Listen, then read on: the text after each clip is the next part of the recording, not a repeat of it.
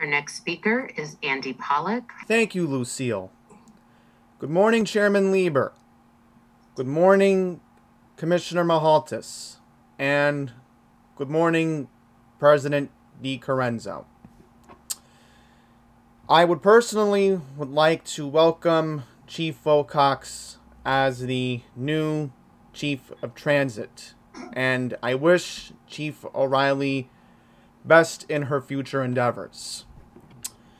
This is a very troubling time for our subway system.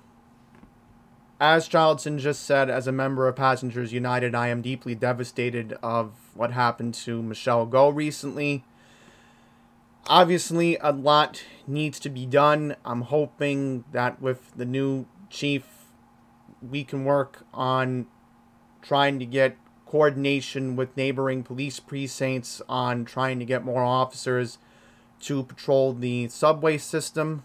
That is very important to start that uh, neighborhood coordinating outreach program as soon as possible.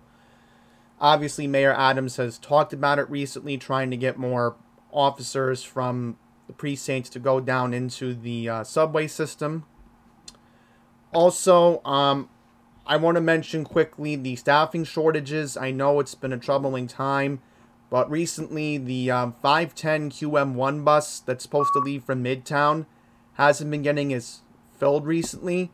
So I'm hoping maybe in the next couple of weeks, um, College Point Bus Depot can figure it out how to get that bus running on its regular schedule in the future. So um, that's pretty much it.